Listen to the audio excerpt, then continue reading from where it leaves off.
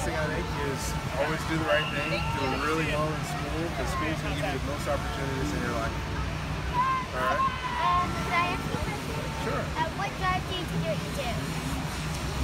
I love to teach, and I love to see guys get improve and get better and do well in school and do well in football. Thank you for your time. Uh, you're welcome. Good to see you. The world of football, not everybody plays.